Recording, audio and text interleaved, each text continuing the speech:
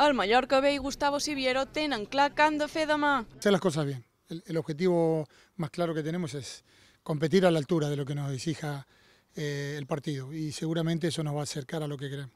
I el que vol el Mallorca B és ascendir a segona federació. La darrera pedra en el camí dels vermells és l'entrego. Es un equipo que compite, que, que va a estar, que nos va a exigir y nos va a llevar al límite. Tienen jugadores expertos, jugadores jóvenes también con mucha proyección, en un campo con unas dimensiones particulares.